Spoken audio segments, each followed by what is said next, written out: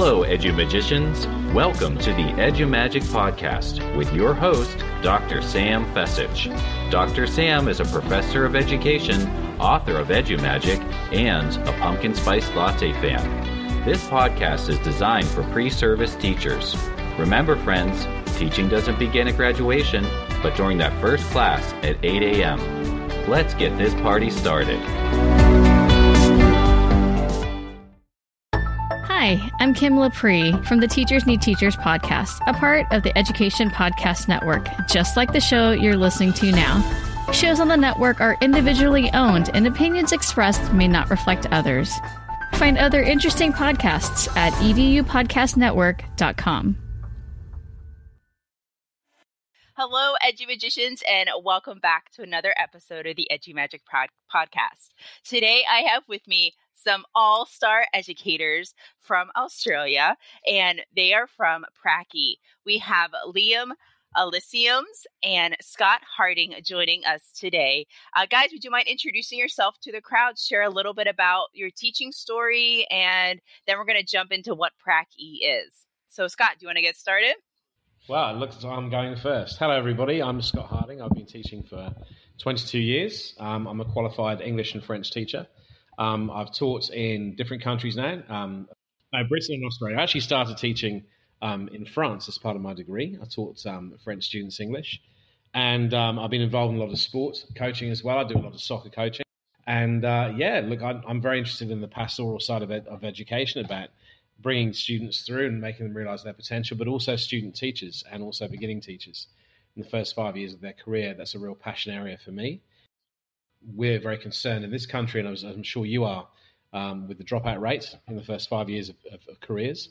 And uh, for me, this is now a bit of a, a bit of a cause that I'm really excited about exploring. Excellent. Thank you so much, Scott. Liam, what about you? Uh, g'day, everyone. My name's Liam Elysiums. I'm the the Australian side of the trifecta of accents in this episode. I'm just beginning my basically my journey with education. I'd, I'd, like to class myself as a bit of an entrepreneur, but that sounds a bit self-obsessed. But I, I like to, to, find new ways of doing things and and I address gaps in the market or, or things that need addressing. Um, so when I was starting my pedagogical career in teaching, I could just see some things that were happening amongst my peers that I couldn't rightfully ignore um, any longer. So my passion is in beginning teacher support. So everything that I've done in education has always kind of been about benefiting the system and trying to change the system to, like Scott said, stop that teacher drought and make teaching one of the best professions and, and give it the reputation that it deserves. So one thing that has really been the product of that has been Prac-E, which started with Scott um, last year, but it's really coming into fruition now where we create digital media and run events for beginning teachers um, from beginning teachers. And we like to communicate in the way that young people like to communicate with. And I think the way we go about it really cuts through the market. And it's something I'm really excited to see grow. Yeah, I have to agree. You guys do so much stuff on Instagram and YouTube. It's a great way to reach that audience. And they're always scrolling through video. And it's a great way to get to them using content and a technology tool that they're using all the time. I think it's a real strength of ours. When we were first starting out, we were trying to discuss what medium it should take or, or how we should go about it. And one thing that we agreed upon was that it had to be authentic. It had to be a true voice, and we couldn't be selling either a product or an agenda. And that's something that is still a core pillar of what we do today. So it, it's sometimes we do give some home truths because teaching isn't a bed of roses every day. But one thing that we try and do is make it practical, real world, and positive, and really communicate in the, the way that teachers actually communicate with and, mm. and find the information and advice that really cuts through and is going to help the most. I think that's the one thing that people have responded with, I think, and, and making those little Instagram videos is just one little example of that, I think. That relatability as well, you know, the idea of if we if we come across as real life human beings, you know, with with foibles and etc. as well, that's all the better because you know it's a very isolating profession at times, particularly early on in our careers. Obviously, as you, as you well know, um, and so to feel that there's a kindred spirit out there to help you would be mm, really quite nice. If I was starting my career now, this is what I would look for. Yeah, definitely. It's so true. I mean, I've had a few different endeavors in the past, and you know they just fizzle out and die very quickly. But with Prac-E, the response was amazing. Really, it's something I didn't expect. We started doing these events, we started making these videos, and the response we got was amazing. it caught me off guard, really. You know, some days I'm busy with uni or things of that nature, and um, I don't have time to do something. Yet that's the day something kicks off without even me particularly yeah. doing anything, which just talks to the the need for something like this and something that you've created as well, Sam, is online teaching um, yeah. support networks. I think it's it's growing and it's so teaching is better for it. I agree. There really is a um, a gap for those pre-service teachers. Yes, there's university, there's college, there's courses and student teaching, but there's not much else out there besides what's in your university and, and people who um, are going through that process with you. So having that professional learning network, being a connected pre-service teacher is critical. I know here here in the states we have um, students go through their coursework and then their fourth year they do student teaching and then they're off in their first year teaching it might be a little bit different over there with um, there's NQ, NQT and PGCE and uh, PRAC and all kinds of stuff. Can you give a quick rundown of what that looks like for a student who is going into university to be a teacher? What does their trajectory look like? Well, certainly from where I trained, I trained in Britain. So over there we have what's called the PGCE, the Postgraduate Certificate of Education. So you do your base degree. So in my case, it was a dual BA honours degree in English and French and I spent a year in France mm. during that time, which is where I started to realize that I'd like to become a teacher. And then after that, you do a year of, of teacher training as such, and then you become a, a fully qualified secondary teacher. Now, the problem with that is you may have no idea about pedagogy whatsoever, and you're thrown into a first prac, which is six weeks long, and that sorts out exactly who's going to stay on the course, you know, because you're usually in, you know, a quite challenging school um, if you've put down that you can travel, expect to be traveling an hour and a half a day there and back. You know, it can be quite difficult. And so, you know, it's quite confronting if you don't really have a huge amount of idea of what an education, um, I suppose, is a sphere is all about. You know, you're educated yourself, but can you impart that education to others? It's a, it's a big wake up call. For me, it was a little bit different. Um, I only graduated last year, and for me, that's a, I did a four year Bachelor of Education, it's called, um, and prac is interspersed all throughout those four years. But it's quite interesting when you first start. You're probably re- relating more to the kids in your class than the teachers in the staff room. I still had acne on my face from when I was in grade 12, and, and suddenly I'm in front of these kids expecting to be a leader in a classroom when before the only context I'd understood was being a student. So it does, like Scott said, in the current system, it can feel occasionally like you're chucked into the deep end and it's sink or swim, unfortunately, for a lot of people. Um, but it's it, universities do what they can, and it's it's something that I think will continue to grow and change all over the world in terms of trying to find that best practice to actually support beginning teachers in that process the best way. And don't be wrong, we're not trying to denigrate universities in any way. Of course, I mean they they do a good job in preparing people. I think they're they're probably better at theory than practice. I'll be perfectly honest with you. I think that see, you know, you can talk about overarching theories, you know, and you know, I suppose the applicability of those theories is tested when you're actually out in the field. This is the thing. So the things you are taught in university lectures aren't necessarily the things you encounter on a day-to-day basis. So, for instance, on my first prac, I actually encountered a lot of gypsy children, Romany children, who um, I wasn't prepared for. I'll be perfectly honest with you, and they had challenges. So the traveller lifestyle being as specific as it is, I, I, had no idea. I had to go and research it. I had no real idea. So I had to think about how best to access those children and think on my feet a little bit. And that was actually quite a demanding thing for me to do. First, first prac. I never really tried that before. So yeah, that was uh, that was an eye opener. My very first prac was in an incredibly low socioeconomic school. Um, one of the, if you want to call it the roughest schools in in Brisbane but it was really rewarding and I really enjoyed it. But like Scott said, I was thrust challenges that I'd never seen in my honestly quite sheltered life. I mean, I didn't think I was sheltered, but then I was with these students and what they had to put up with on a daily basis before even coming to school uh, was something that I was not privy to. So to have them in my class and then trying to support them and then be that consistent role model for them, it took a long time to kind of appreciate their needs and then to adjust to give them those needs. And it's something that a lot of beginning teachers struggle with because in Australia, these are the schools that need young teachers. They're the ones that are crying out, especially rural and remote. Australia's massive, massive country, yet everyone wants to live on the metropolitan coast. Whereas there's all these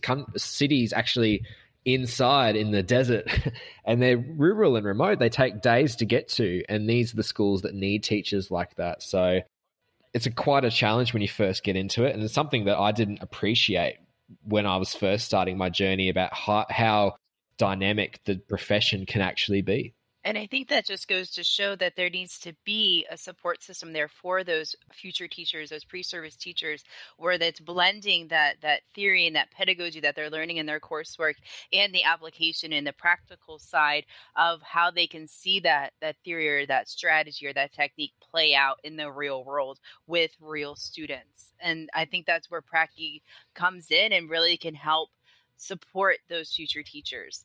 So this is where we're going to jump right in uh, t- 11 minutes into the show. What is Prac-E and why focus on those future teachers? What motivated you to start Prac-E? Well, to begin the the Prac-E journey, it, it started when I was actually a Prac student and Scott was my mentor. And we were just spitballing after one of the lessons, kind of 3:30 p.m. We were just talking about the current state of my cohort and how I thought university was going, and Scott's observation of how it was going from there, and we just kind of addressed a need that we we both agreed upon. And I know Scott, what did you think about that that conversation? It had been percolating for some time in my mind because I've I've, I've been mentoring student teachers for a few years before Liam came through, and um, I've been very lucky in the sense that all the student teachers I've ever had have been superb professionals, beginning professionals. You know, they've been very socially media aware. They're very literate. They know their subjects well. They engage the students. Fantastic. But I still felt that even though I was directly supporting them in the classroom, as soon as they left, they were just thrown to the wolves. You know I mean? So quite a few of them I've stayed in touch with after they've left um, my mentorship, and a few of them have really struggled to find jobs and secure long-term jobs partly because I think that's the, the nature of the workforce over here, but also because I think sometimes they're not prepared for things like interview technique or for, you know, things not to go quite as smoothly as they, they might have done on the prac that they had at my school. And so I've always said to, to any student teacher I've had, you need to go and teach in state education as well, not just private schools. Because over here we have state and we have private, right? And um, private schools have their own challenges, don't get me wrong. But I think every teacher, you know, in their time, certainly when they're starting off, should teach state and understand what it is that you're dealing with at that level, you know? I saw it firsthand when I was out on prac. I had peers of mine going on this process with me, and we had we had our typical nightmare lessons, as everyone does, uh, the internet's down or you get paired with a substitute. You know, those usual things that everyone had. My one was that my kids had been at camp the previous week and hadn't had a chance to talk about it until my lesson. So they were just unruly from the very beginning, paired with a late minute room change. It was a chaos from beginning to end. But luckily, I had a, a good, pretty good support network with me to put that lesson into context. For my peers, they didn't have that context. And something similar happened to a colleague of mine out on prac from the very same cohort, very same university that I was. And then on that day, um, the next day we came in and he he wasn't there.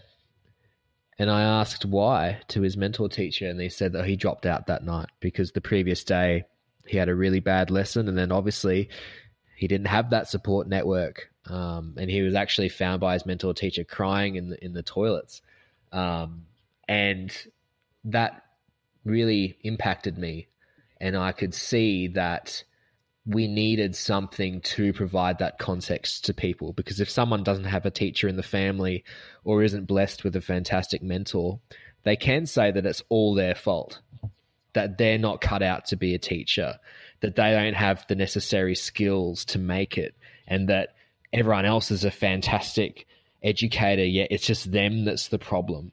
I was sick and tired of seeing it, to be honest, and I couldn't withstand it for very much longer until we had to plug that change. And that's where Prac-E came to be. we wanted to be that context provider. We wanted to be the person to provide someone with a mentor if they didn't have it. We wanted to be that support network for people that fall through the cracks. And you can see how young teachers can spiral. And Liam's right. Liam's right. I've seen this too many times with young colleagues who've been in the profession a year or two years and suddenly they hit a roadblock. And it might be the first challenge they've encountered in their career and they don't necessarily know how to cope with it. So Prac-E Prac-E wants to walk with you. That's what we created. So Pracky.com is providing ongoing mentorship through symposium events. So if you want to come and ask those questions, it's usually those little questions that don't get covered in a unit or don't get covered in a lecture that will keep you up till all hours of the morning, creating the most stress. So we do symposium events where we get real world teachers that are in classrooms right now to come in and you basically have uncensored access to these educators for an hour and a half. And you can ask any question that you want. We actually don't provide any content ourselves. We're just a vehicle and we are used to get all of those little nitty gritty questions out of the way before you go out into the big bell world.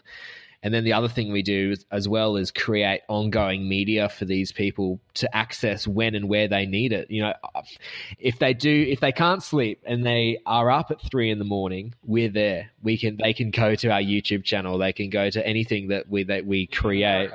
And they can engage in something that will put their mind at ease. So it's basically providing what we think needs to be there in the ways that people want it. I love your mission of just giving back to that next generation of educators in any way that you can through accessibility through the symposiums that you uh, discuss which i want to i want to now take a minute to for you guys to share a little bit about what those are for some reason when i was out on prac no matter how much i planned my timing was always off I always finished 15 minutes early or I over planned and I probably had a whole week's content crammed into one lesson. I think you overshot by three lessons. So it, it so that's what I wanted to want. What I wanted to know, and people, other people wanted to know. Or what if I do? What do I do if I'm not clicking with school culture? Or what do I do if I there's one particular staff member that just seems to have it out for me for some reason?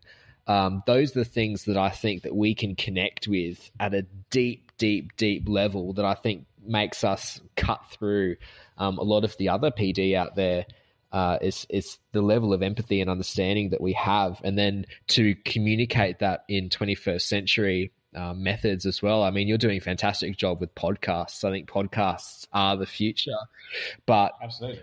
I mean, it's it's something as uh, it's it's quite rare to see um, someone creating modern content in the way that people like to communicate with. I mean, why can't Teacher PD be an Instagram video? Why can't it be a tweet? Why can't it be a Facebook story? And popping up in in ways that people appreciate but also but also don't expect. I think that's that's something that people have connected with. I mean we're now chucking videos up on tiktok. Why not? Wow. you know Wow. there's there's no reason. There's no reason why. My daughter's going to love it. No, I think, and the most important thing too, I think for us is that we're accessible. So I, I think one of the most important things from my perspective is because I'm still in the classroom, I, I have something I, I feel that is of value that we can impart. And it's the same thing with every time we go to a symposium, we always have a range of experience on the stage. So we have right from the very beginning of a, of a career all the way through to principal on the stage. So it's almost like the seven ages of man up on stage. Do you know what I mean? And so you get questions fired at you, and I think that's the thing because we're still in the in the profession. We're not detached from it. Do you know I mean? We're actually living it, and I think that that then helps a little bit because I think there's a little bit of camaraderie between the audience and the and the panel at that point. I mean, you do get fired some very interesting questions Mm. that you have to respond to in real time, and So Prac-E solves this, it plugs this gap, like we had said earlier. And I'm sure we can all think about a time, you know, we were all first year teachers, we were all student teachers at one point, some of us more recent than others. But what was a time during your early career in which you felt that you really would have benefited from something like Prac-E? Uh, probably at the end of my second year, I think. The first year went by so quickly, it was a blur.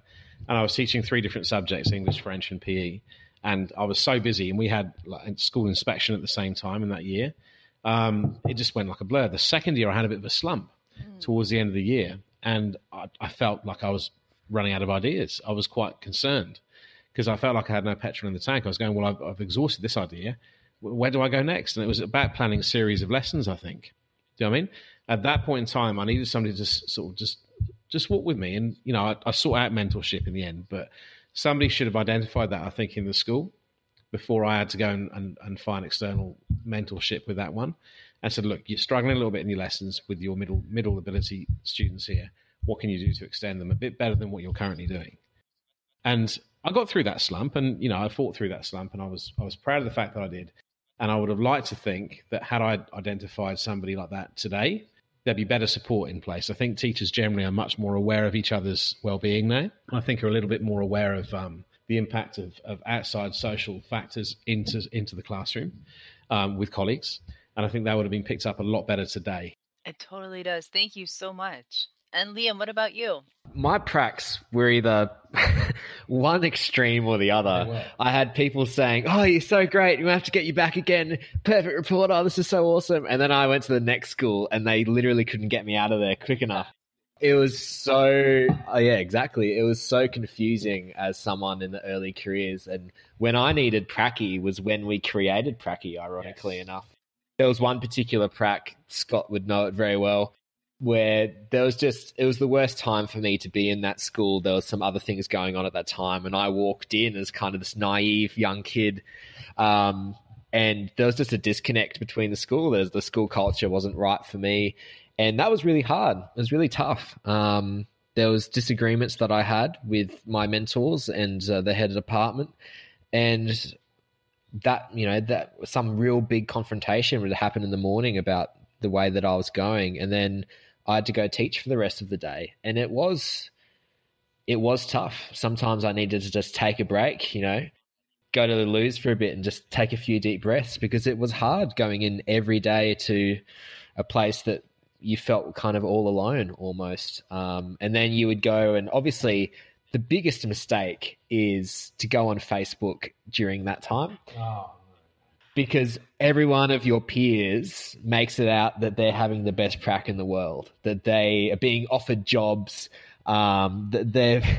The kids love them. The kids are giving them wine and chocolates, and it's it's amazing. But for me, it it was very easy to understand why Mm-hmm. someone might go, well, what's wrong with me then? I nearly became a statistic. Um, I felt myself getting burnt out. So I can have a deep empathy for how some of the students that we were working with. But luckily, I had people that could see it from a, a different point of view as well and kind of see what I was trying to do. Because sometimes you just need someone that's just not involved whatsoever to kind of go, well, yeah, you did do that badly. Or someone that goes, well, maybe they kind of weren't being fair there. To have that outside voice is really great. And then with the rise of online communities, with um, teachers like yourself doing podcasts like this, or Facebook groups, or Prac-E, or whatever it is, that's luckily getting more and more common where people can reach out to people that aren't in their immediate vicinity and get that context. Luckily, it's happening more and more. And that actually happened over on Instagram. There is a, a pre-service teacher who got this feedback from her college supervisor, and she was just so distraught. And so I went and I I supervise student teachers, so I went and I commented and I said, "Well, let let let's look at that feedback and maybe you know look through it from a different perspective." So I was able to connect with her and share, "Okay, well maybe that part didn't go so well, but maybe ask for clarification on this this other part of feedback." So maybe not take it so personally um, that it and think about they want to help you succeed and what are some ways to do that maybe the way they wrote it down or said it didn't come off great but there's something there that might need to be worked on or, or went really well that can be explored a little bit more turning a weakness into a strength. Do you know what I mean? How is that possible? You know, so you look at it and go, okay, well, I don't need to emotionally filter through that. You have to emotionally play through that. I understand that. But when all is said and done, you look at what is, say, is being pointed out as a certain area for constructive improvement, turn it into a strength. And you're always going to become a brilliant teacher if you do that.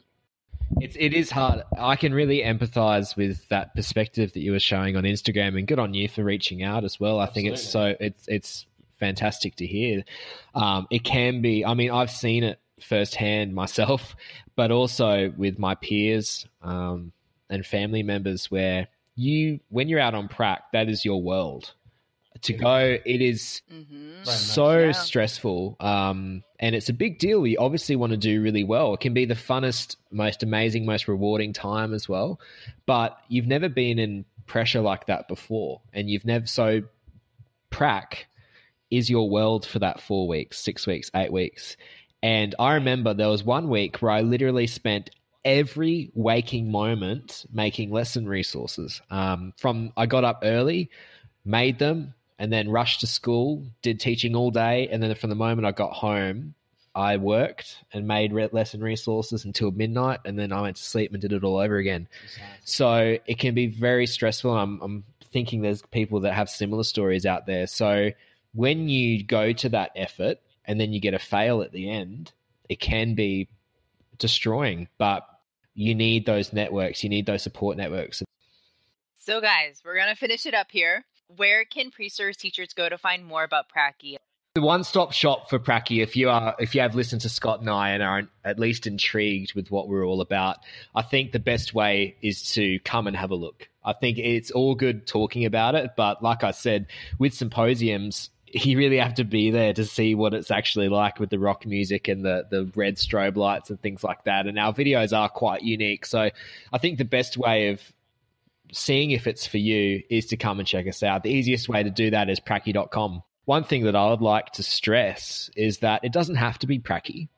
It doesn't have to be us. We'll be there if you need it, but I would implore anyone that's feeling like under a bit of stress or under a bit of anxiety or feel like they're walking alone at the moment to go and find an online support network for teachers that suits you. It doesn't have to be us, but we're there if you need it.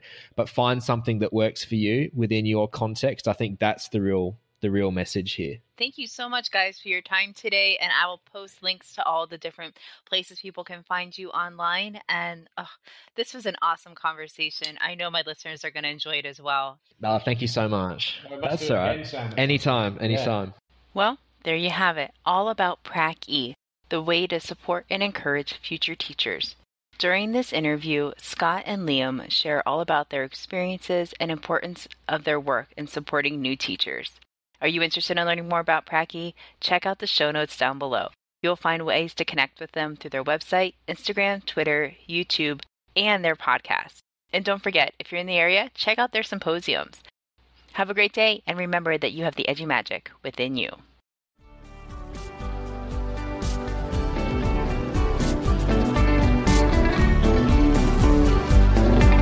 And there you have it, Edumagicians. If you enjoyed this episode, please subscribe and share it with your friends. For more Edu Magic, check out sfecich.com and follow Dr. Sam on Twitter and Instagram at sfecich. Until next time, you have the Edu Magic within you.